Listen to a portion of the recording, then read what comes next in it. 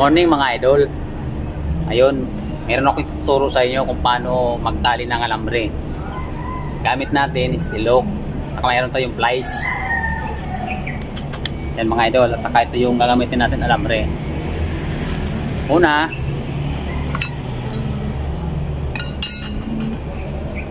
unang gagawin natin mga idol, yan, dalawang alambre yan mga idol ha. Una, gaganyan natin mga idol. Siya. Tapos, pilipitin natin siya. Yan mga idol. Pilipitin natin siya. Yan. Tapos, pag napilipitin natin siya mga idol, itatali siya natin siya. Ganito po ang pagtali ng alambre sa anilyo. Yan mga idol. Ganito mga idol oh. Dapat nakatama siya sa ano, nakatama sa guwit. Yan may mga guwit siya. Yan mga idol. Yan. Tapos ganito ng mga idol, gaganyan natin siya. Yan. Yan. Yan. Ganyan dapat siya mga idol. Tapos tatali na natin siya. Ganito mga idol ang pagtali. Yan. Tapos sintro natin sa guwit tapos gaganyan natin siya. Yan. Pakababa ng ganyan, balik natin dito. Yun. Yun mga idol, nagtagpo silang dalawa. Pag nakaganyan ng mga idol, tatali na natin siya. Itong gamit natin, gancho. Gancho sa amin kung tawagin ito mga idol. Ganyan mga idol. Oh.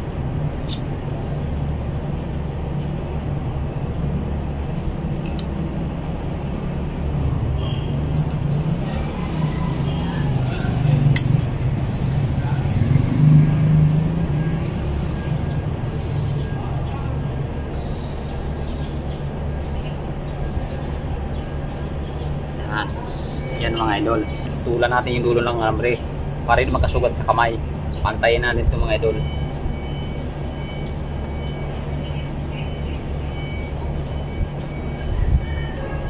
Yan. Importante maputol yung dulo kasi talas siya. Yan, idol. Medyo mapurol yung flash ko.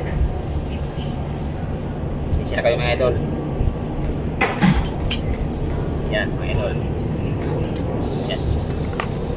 Yun lang po, mga idol. Sa, ito lang po yung gagawin nyo. Tapos,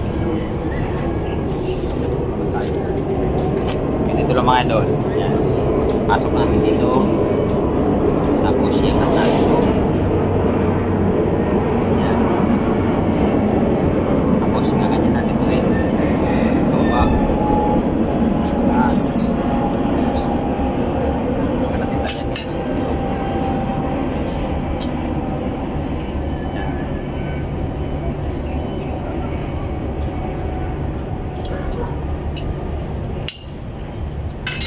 Putulan natin yung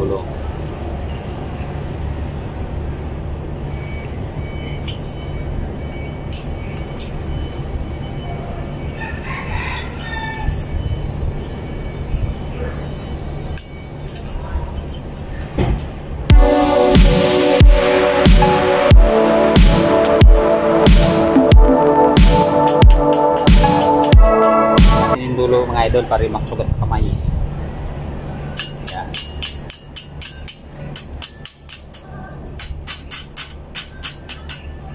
Yun mga idol. Ganito lang yung video ko. Sana mayroon kayong nakuha natutunan sa aking vlog. Thank you po.